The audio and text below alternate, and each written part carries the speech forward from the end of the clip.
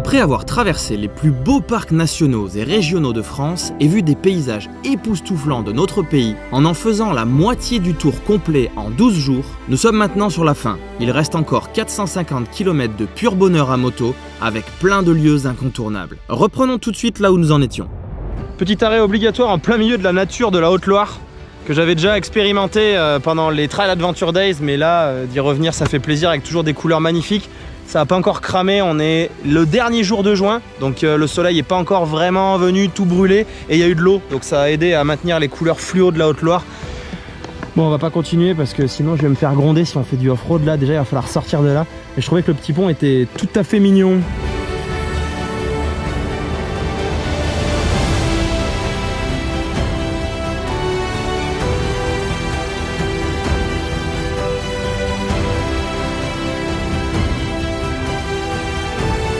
Ce matin, nous sommes partis du parc naturel régional Livradois-Forêt, nous avons traversé la Haute-Loire et nous entrons tout juste en Lozère, notre 37e département du voyage. Pour accélérer un peu le rythme et rejoindre le prochain parc naturel, nous allons emprunter des départementales moins perdues que d'habitude. Enfin, pour le moment. Alors par ici, c'est hyper roulant. Le bitume est parfait et c'est hyper beau. Baraque de la Motte ouverte, quoi, c'est le nom d'un col ça? Comme vous pouvez le voir depuis tout à l'heure, la Lozère est un département très vert, naturel et sauvage. Comme le dit d'ailleurs le département sur son site, euh, je cite, La Lozère est un écrin épargné par les grands ensembles et les fortes concentrations industrielles. Et à moto, c'est exactement ce que je recherche pour m'aérer et profiter. Mais je comprends mieux pourquoi il m'était ouvert, Baraque de la Motte. On est à 1317 mètres d'altitude bah effectivement, vu comme ça, s'il neige, ça peut vite être fermé. Avant de passer sur un axe encore plus rapide, le GPS nous fait prendre une mini-route. Une petite erreur de traçage en forçant le nom d'un village, mais ça va nous donner un beau point de vue typique d'ici. Ça fait longtemps qu'on n'avait pas repris l'habitude qu'on avait dans les Alpes où on s'arrêtait euh, tous les kilomètres parce que c'était magnifique. Et la Haute-Loire, je crois que c'est un des premiers départements, monsieur, monsieur Tony qui pose dans l'herbe là, où euh, on commence à vraiment retrouver ce rythme. Avant, on s'arrêtait bien, mais là c'est abusé. On a envie de s'arrêter euh, tout le temps.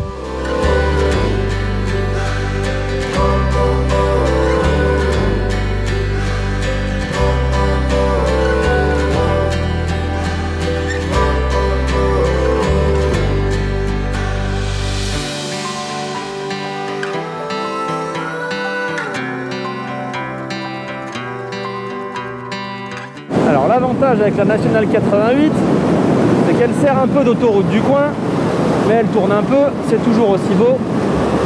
Donc du coup, on peut cruiser en confort. Ça, c'est bien. Si vous connaissez la Nationale 7, par exemple, vous comprendrez rapidement qu'il est bien plus agréable de traverser la France ici sur cette Nationale 88. Nous passerons par Mende, qui est la préfecture de la Lozère. On va pas aller à Mende sans venir voir la cathédrale, ça se fait pas. Nous en profiterons pour prendre un café avant de rejoindre nos derniers kilomètres sur la large Nationale 88 pour aller nous enfoncer dans le parc naturel régional des Grands Causses. Je sais, je radote, hein, mais c'est quand même assez incroyable de trouver une nationale aussi roulante qui traverse ce genre de décor. Direction Gorge du Tarn. Ça suffit la nationale 88, ça va trop vite. C'est pas mal les Cévennes Bon clairement cette route c'est encore du pif sur une carte. Mais alors quelle bonne surprise C'était en fait la seule qui traversait juste entre le parc national des Cévennes, qu'on fera demain pour filer à l'est, et le parc naturel régional de l'Aubrac, qui sera lui pour la deuxième moitié de la France, tout en fonçant droit sur celui des Grands Causses où nous allons. Et c'est d'ailleurs elle qui va nous faire officiellement rentrer dedans. Encore une fois, nous serons tout seuls à arpenter cette bande de bitume en pleine palette de dégradés de verre, quand tout le monde est certainement sur les axes parallèles. Quand nous voyons écrit circuit sur les panneaux, j'avoue que ça nous donnerait presque l'envie de kéviner un peu. Mais bon, c'est pas le genre de la maison, la place est déjà bien prise. Cette route n'est composée que de virages. Pour contourner un bout de relief ou encore traverser une forêt, elle monte, elle descend, elle tournoie. On peut mettre du rythme, on avance bien tout en faisant le plein de paysages. C'est vraiment une belle trouvaille. En sortie d'un lieu-dit, elle finira quand même par perdre quelques virages pour nous faire traverser un plateau qui semble être posé ici au milieu de nulle part.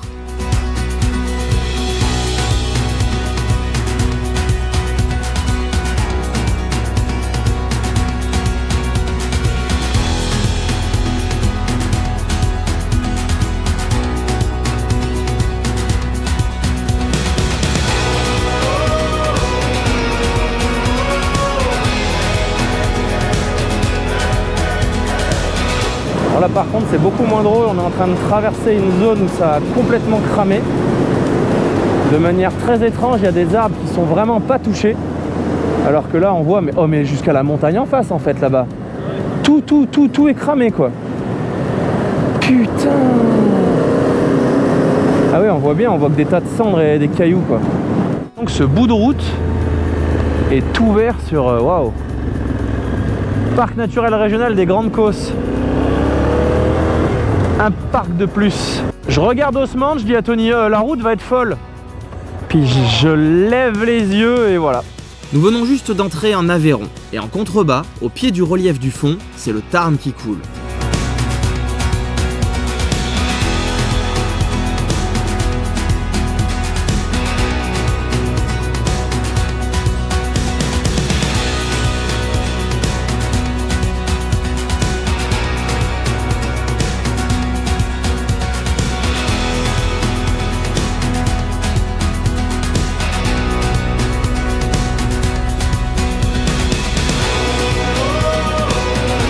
Après en avoir vu les paysages d'en haut et de loin, il est temps de descendre pour s'en rapprocher. Il reste 17 km, on aurait pu aller à Millau rapidement, mais j'avais décidé d'aller voir encore un petit peu la nature, les alentours. Ah, on dirait pas qu'on est à deux pas des gorges du Tarn là quand même. hein. D'un coup ça a complètement changé quoi. Alors qu'on vient de faire que 3 km. J'adore ces petites routes de, de, de la fin d'un village là. Prends la route qui passe derrière l'église, hop hop hop, les petits quartiers, tu sors, t'as une côte et boum, d'un coup t'es perdu sur un plateau. C'est ça la France. Oh la vue On était derrière ces massifs tout à l'heure pour info. On va faire un détour sur le détour. S'il y a quand même un truc qu'il faut voir, vu qu'on est juste à côté. Il y a une toute petite construction qui a été faite et qui porte le joli nom du viaduc de Millau. C'est ce petit truc là-bas là. On va aller jeter un œil. Et oui, il aurait été dommage de ne pas aller voir le colossal viaduc de Millau en étant juste à côté.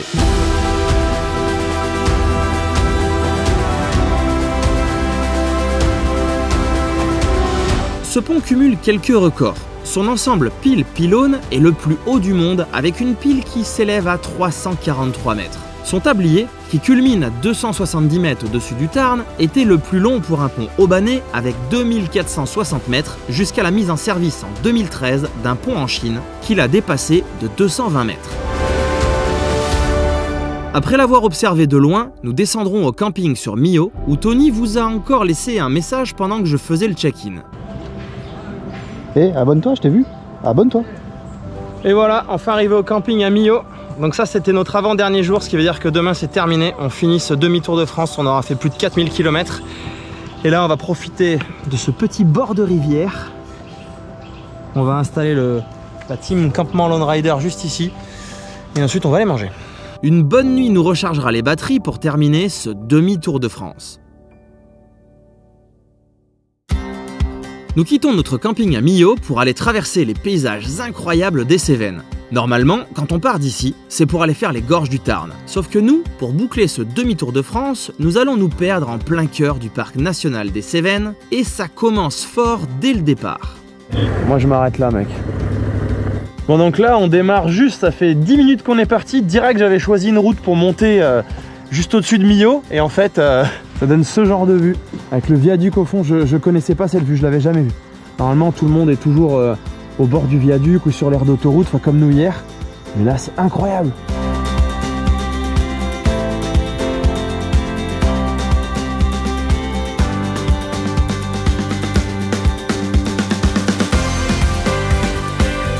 Une fois sur le plateau de ce massif, nous comprenons vite que le thème va être forêt de sapins pour un moment. Et avec cette ambiance humide, sous un ciel menaçant, ça pose une atmosphère assez particulière et en tout cas pas déplaisante. Et puis, au détour d'un virage sur le début de la descente, Qu'est-ce que c'est que ce truc? Allez moustique, va voir ça.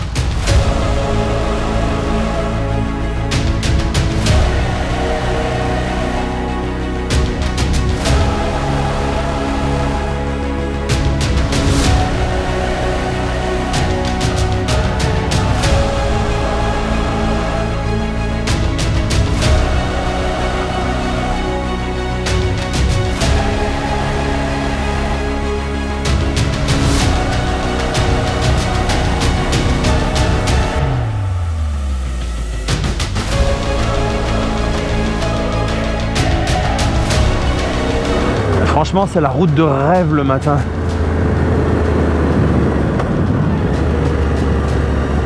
Je suis déjà venu plusieurs fois à Millau, mais alors ça, je l'avais jamais vu. Force de rester sur les grandes traces, ouais, gorge du Tarn, gorge du Tarn, et du coup, on oublie les petits sentiers. Et le concept, c'était quand même de faire le demi-tour de France par les parcs, les endroits magnifiques. Je crois que là, ça va rester ça. Peu après, les paysages changent. Nous sortons de la forêt pour rejoindre des prairies dégagées et nous ferons au passage notre entrée officielle dans le parc national des Cévennes. Mais l'accueil n'est pas au rendez-vous. Fin du monde devant, Jurassic Park ici. Mais quand même bien fin du monde devant quoi. Tu disais quand tu mets ta combi pluie, il pleut pas? Ok. Je sais pas où on va, mais on y va.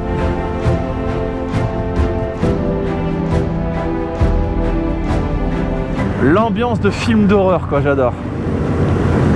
Et là la dame blanche, paf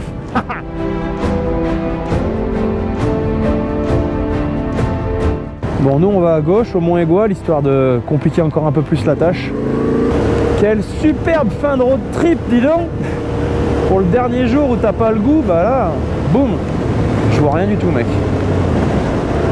Je vois rien du tout. Ah bah là il y a une barrière, on va pas y aller.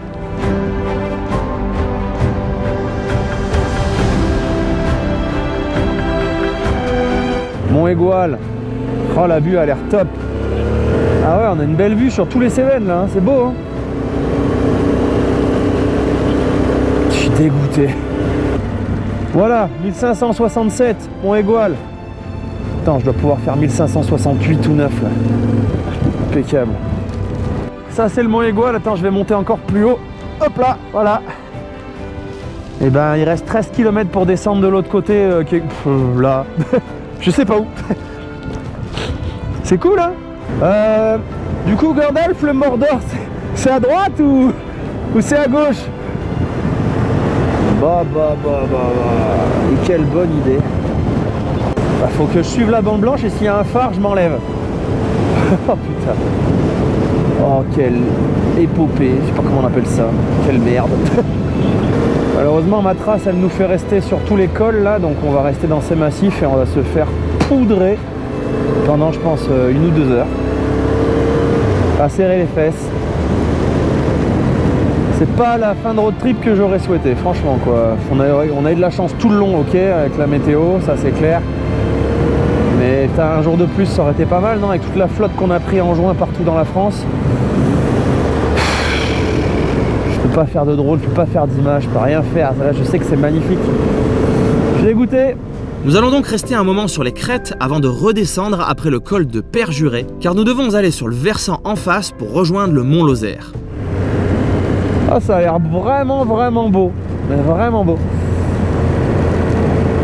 Chaussée déformée. Oui, bon, écoute, tu peux mettre des vaches au milieu, hein, il manquerait plus que ça. hein.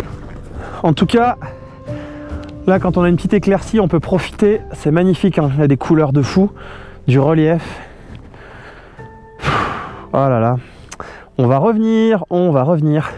À force de râler, la météo finira par s'arranger sur la descente. Et ça fait du bien de retrouver les vues des pentes verdoyantes des Cévennes.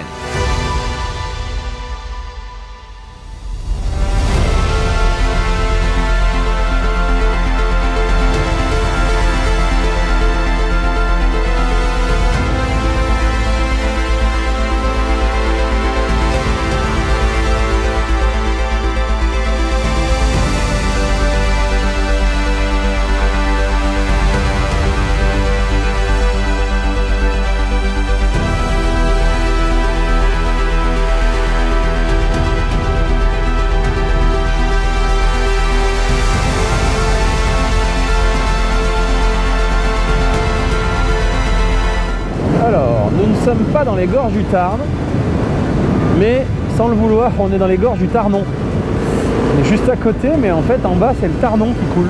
Tout comme nous, le Tarnon vient aussi du mont Aigoual. Il va se balader moins de 40 km avant de se jeter dans le Tarn vers Florac. Du coup, on va se joindre à lui jusque là-bas. Fin du circuit des vallées Cévenol. On va démarrer le circuit d'Alès, euh, c'est-à-dire le circuit d'Alès. Après une pause repas à Florac, nous repartons enfin pour suivre le Tarn, le seul et l'unique que nous évitons depuis hier pour sortir des sentiers battus. À cet endroit, ce n'est pas sa partie la plus touristique et ça nous ira très bien, surtout que ces gorges ici sont tout aussi belles.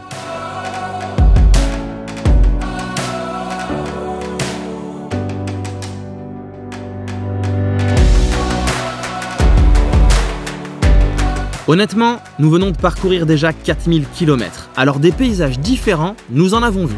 Bien entendu, on ne peut pas tout comparer, mais dans son genre, cette zone des Cévennes fait partie des plus beaux décors de notre road trip.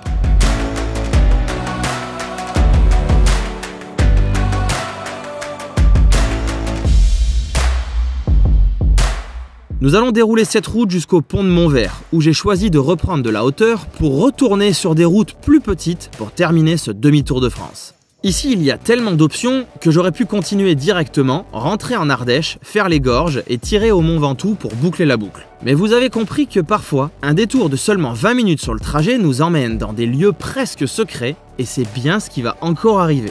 Ce col pourtant pas connu nous en aura mis plein les yeux. Il tourne autour du mont Lozère sur ses pentes sauvages sur la face sud, et une fois de l'autre côté, c'est un changement de décor qui nous attend, mais ça nous conviendra toujours autant. Nous étions à 1541 mètres d'altitude, ce qui fait que nous étions presque sur le toit des Cévennes, puisque le col le plus haut était l'égoile tout à l'heure à 1567 mètres. 26 mètres de moins, mais une incroyable vue dégagée. Le col et tu changes de monde quoi. Impressionnant. Ça n'a plus rien à voir.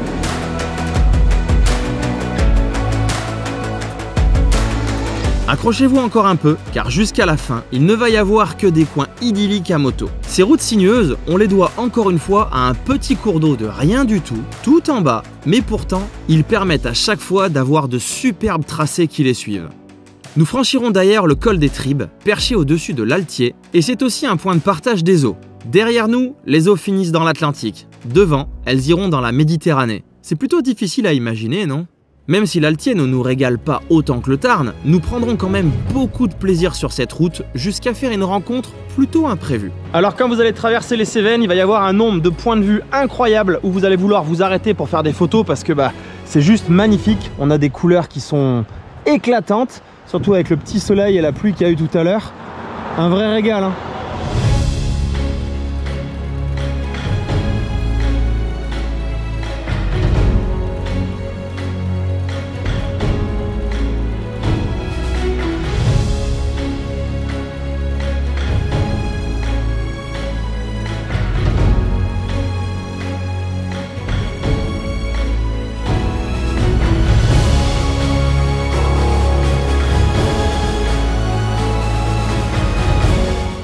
Continuerons à suivre notre rivière pour rejoindre le lac de Villefort, qu'elle va d'ailleurs traverser pour aller se jeter plus loin dans le Chassezac. Pour notre part, nous continuerons plus au nord. D'ailleurs, vous vous demandez certainement pourquoi plus au nord? Pourquoi ne pas avoir pris plein sud pour finir un Tour de France par la côte? Eh bien, j'explique ça en détail dans la vidéo d'introduction de ce demi-tour de France. Mais en résumé, voulant passer par un maximum de parcs nationaux ou régionaux, tout au sud, il m'en aurait manqué 4. La Camargue, les Alpilles, les Calanques et la Sainte-Baume. Et ça aurait supprimé les Cévennes et l'Ardèche. Je préfère largement vous faire découvrir ces deux derniers, car les quatre autres vont imposer beaucoup beaucoup, beaucoup de lignes droites pour les rejoindre, les relier et les quitter. Ce qui n'est pas plaisant à moto, et ils vont rajouter aussi beaucoup de kilomètres au concept qui ne serait plus faisable en 12 jours. Je ne dénigre pas ces parcs, attention, mais pour moi on en profite correctement plutôt en les explorant en randonnée. Tout ça mis dans une balance, ma décision a vite été prise.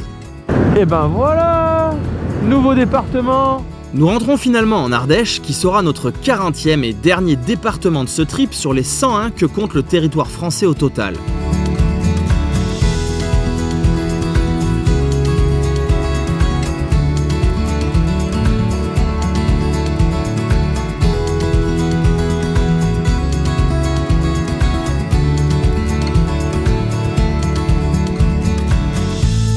Le fait d'absolument vouloir prendre des cols que je ne connaissais pas va une dernière fois nous envoyer sur des routes superbes en passant de versant en versant entre les reliefs des Cévennes ardéchoises. Col Chap-del-Bosque. Je suis complètement perdu là. Ça tombe bien, c'est moi qui ai fait l'itinéraire. On arrive à un col qui te donne pas spécialement envie de rester longtemps par ici. Où est-ce qu'ils ont mis le panneau? Ah, ils me l'ont pas mis. Col de la Croix de la Femme Morte. Moi je dis on se casse. Nous arrivons maintenant sur notre tout dernier col que je connais bien et qui va nous faire dévaler droit sur les gorges de la Baume. Et ce sera, je trouve, un final en beauté.